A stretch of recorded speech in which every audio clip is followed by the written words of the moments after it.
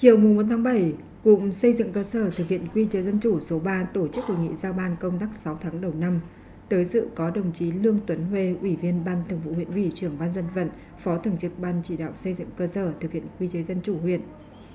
Hội nghị do Đại tá Phạm Văn Thường, Ủy viên Ban Thường vụ huyện ủy, trưởng công an huyện, cụm trưởng chủ trì. Cụm xây dựng cơ sở thực hiện quy chế dân chủ số 3 gồm các đơn vị công an, ban chỉ huy quân sự huyện, bệnh viện đa khoa, viện kiểm sát nhân dân, bảo hiểm xã hội, trường trung học phổ thông Lăng Chánh, trung tâm giáo dục thường xuyên dạy nghề, các xã Quang Hiến, Đồng Lương và thị trấn. Sau tháng qua, các cơ quan đơn vị trong cụm đã có nhiều cố gắng trong hướng dẫn bà con lao động, sản xuất, kinh doanh, thực hiện tốt nhiệm vụ chính trị,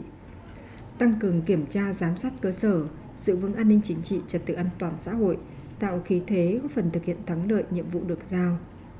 Bảo hiểm xã hội đã cấp mới 360 sổ bảo hiểm xã hội, trên 5.700 thẻ bảo hiểm y tế. Bệnh viện đa khoa làm tốt công tác khám chữa bệnh cho nhân dân.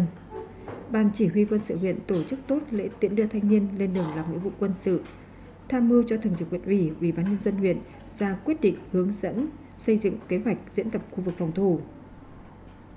Công an huyện đã chủ động tham mưu ban hành được 14 văn bản triển khai thực hiện công tác đảm bảo an toàn trật tự an toàn giao thông trên địa bàn. Viện Kiểm sát Nhân dân kiểm tra 100% thông tin tố giác tin báo tội phạm.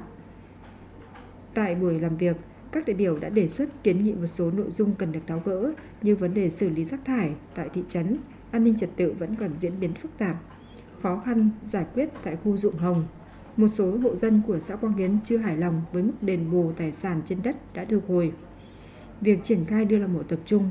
hoạt động còn nhiều bất cập.